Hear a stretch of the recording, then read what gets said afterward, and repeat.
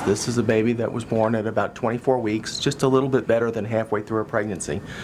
Uh, the baby's birth weight was right about a pound, uh, which is getting to the limits of viability. Those are the types of babies that we have to work very hard to save, and we really didn't think we were going to make it with this baby.